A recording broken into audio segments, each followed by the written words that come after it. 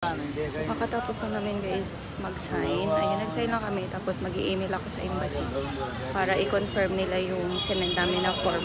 I-message lang. Ariana. Guys, ready na yung Hawaiian shoe. Yan, red Hawaii. Wow. Wow. It's very nice. Wow.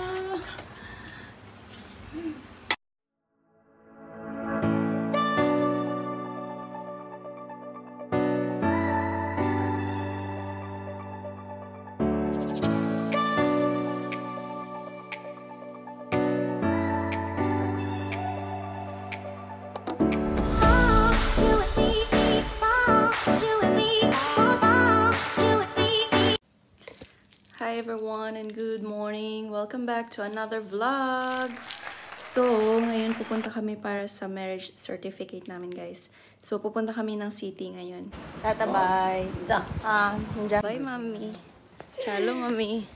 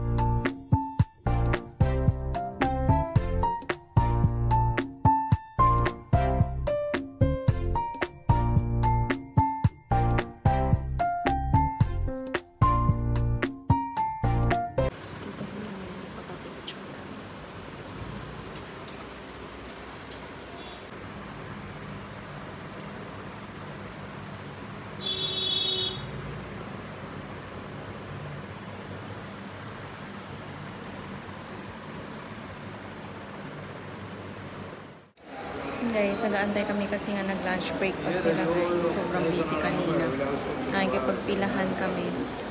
So, ayan, sobrang hirap din guys mag-apply pala ng marriage certificate dito sa India.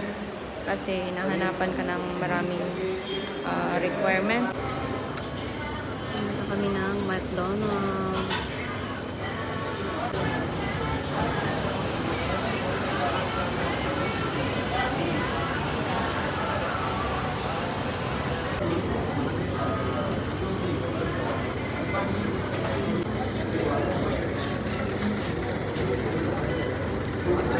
Chocolate sundae, kain guys.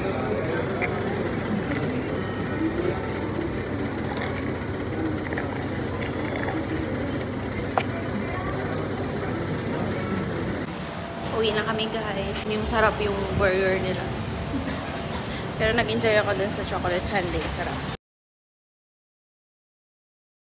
So, pupunta kami ulit ng city para i-process yung um, marriage certificate namin kasi nga hindi namin natapos kahapon. Yan ang daming requirements, guys.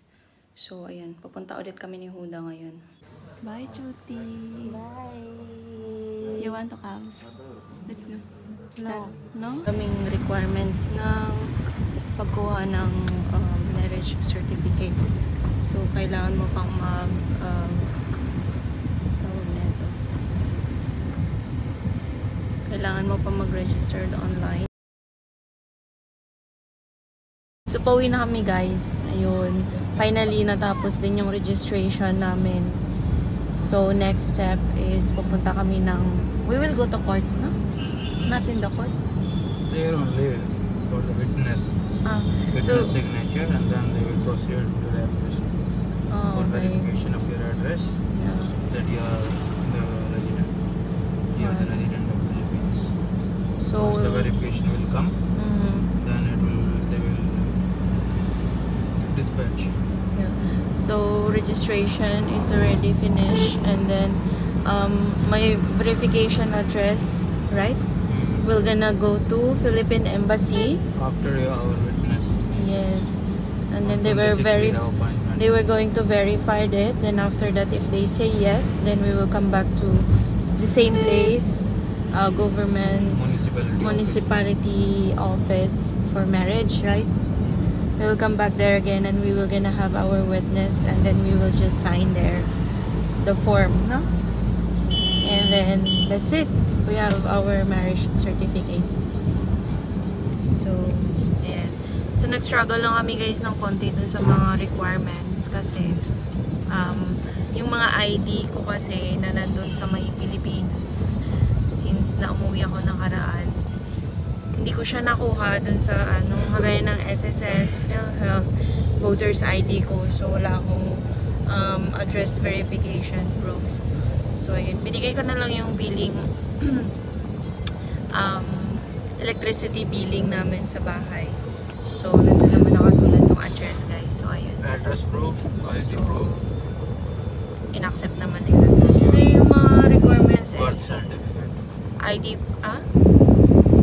If someone is resident of India, Okay. needs to have family ID first, Mhm. then their address proof, birth certificate proof, ID proof, like Aadhaar card in India. And Okay. for you, you need to have your birth certificate and then address proof for that, and your elementary Diploma. diploma Yeah. and your passport. Yeah. So, yan guys.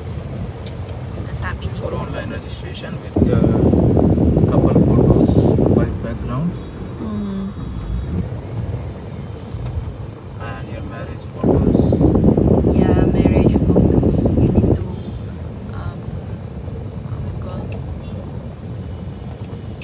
You need to have a copy of your marriage photo, guys, as a proof. So, yun ang daming requirements, di ba? Kaya, um, it takes two days for us to process all the documents and requirements needed for marriage certificate. Yun. And all the documents should be original. Yeah, and all the documents should be original, guys. But however, I don't have the original copy once again. And like, um, I just uh, told my sister to take a photo and then we convert it into PDF.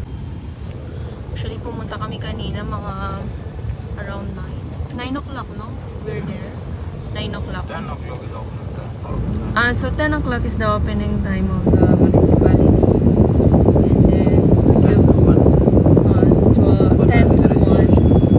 Yeah, for, registration 11 to 1 for the opening at 10. yeah. Then 1 o'clock is the lunch after lunch. So here in Haryana, guys, if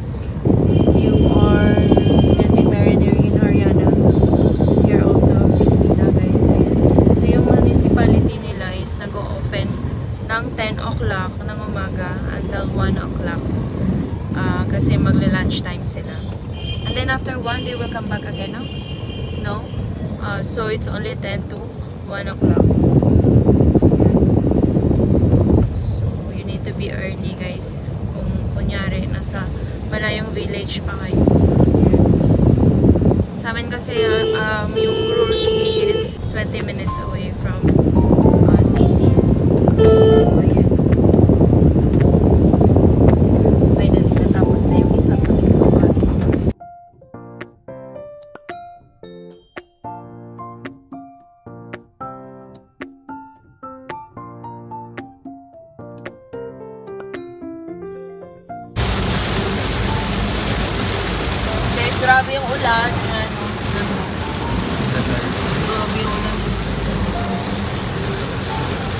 heavy raining.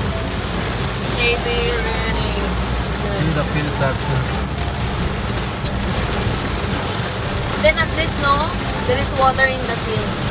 Because before it's very dry. Right? Yan yung mga palayan nila yun. Kanina tinataniman nila yan. Okay, sobrang dry na ginawang guys. Oh, talaga buhos.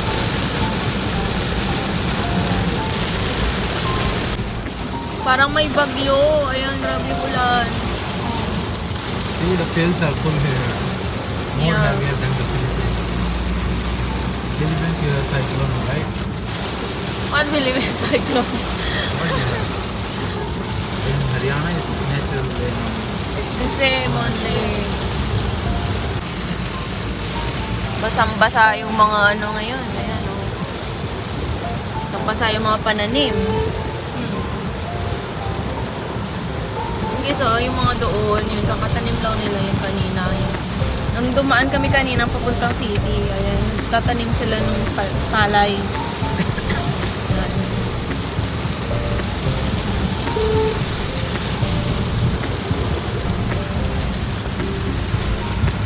Oh my god. Yeah, oh my God. It's feeling cold here inside. Ocho? Switch off the AC then.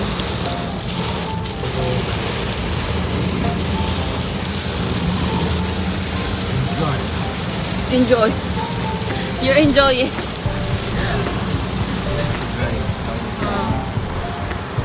Because this rain, guys, we are not experiencing it in UAE before. See, look.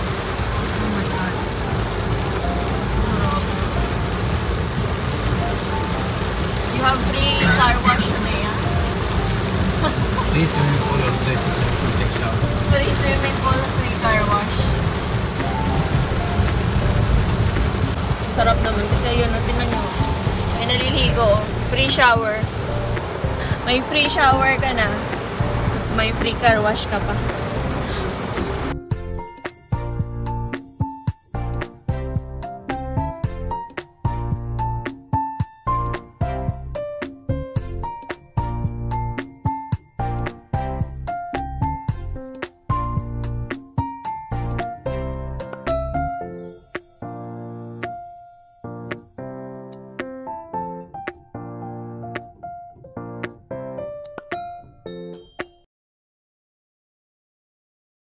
Good morning everyone! So, ayan, nagbibihis kami guys. Pupunta kami ngayon ulit dun sa municipality para sa marriage uh, certificate namin ni Huda. So, um, dadalhin namin yung witnesses namin, which is si Papa at si Pramjit G. Tapos, ayun, pepirma na kami dun sa uh, marriage certificate namin. And regarding dun sa mga uh, requirements guys about sa pag-process ng uh, marriage certificate dito sa Haryana. So, i-update ko kayo. I will just paste it um, in the description down below kung ano yung mga requirements. So guys, kailangan ko magsuot ng suit kasi nga kailangan formal daw yung susuotin. So, ayan. Ito yung napili ko suit.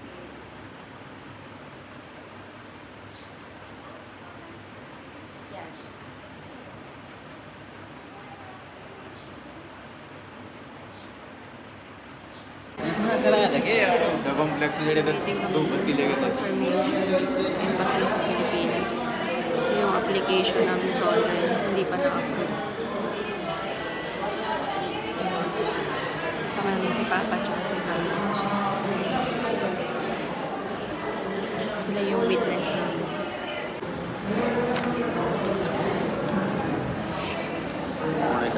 हाँ ये define So,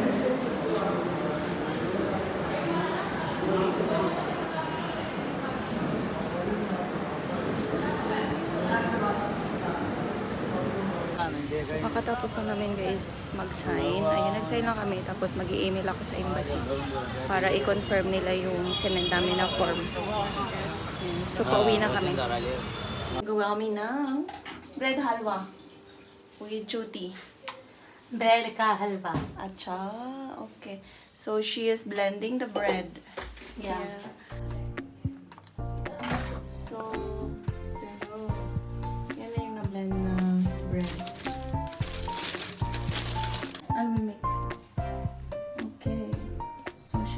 second batch of bread. And we magbablend it again. So, ito kanina yung binlend namin na bread. Tapos, dito namin lulutuin. Sini siya yung gagawa, guys. So, manonood lang ako. Buddha is here. And then, Judy is there also.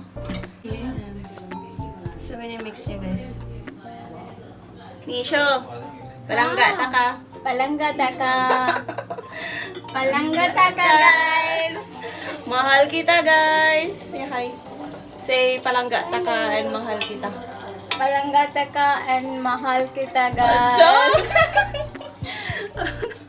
Ayan yung palangga taka is Ilonggo. Ilonggo siya. Ilonggo siya. It's Ilonggo. How long? Hmm? How long you will mix it? Till then, it's color. Um, color will change. Like brownish. yeah. So we will wait it until it become brown. Is it pudding? no No, no. And we will put also dud. Ayan. Milk after. Pupunta dito yung um, in-laws ni Nishu. So, ay, nagpiprepare kami ng pagkain. So, nagluto na ako kanina ng sabzi. Tapos, ngayon gumagawa kami ng halwa. Yan. And so, we put already the ghee on it. It's becoming brown. now we put inside it the milk Then, after that, we will put milk na. yeah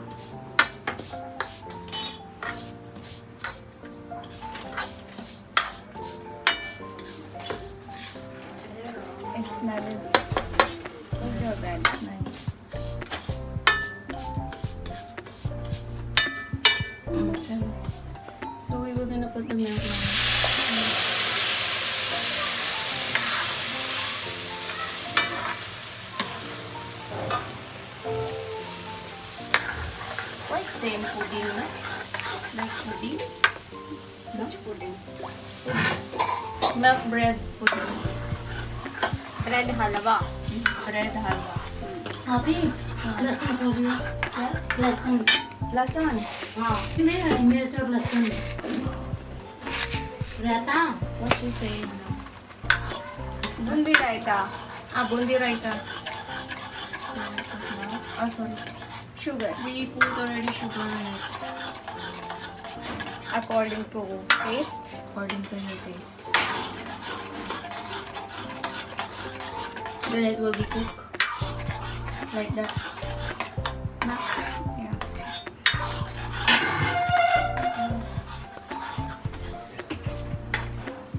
Guys, ready na yung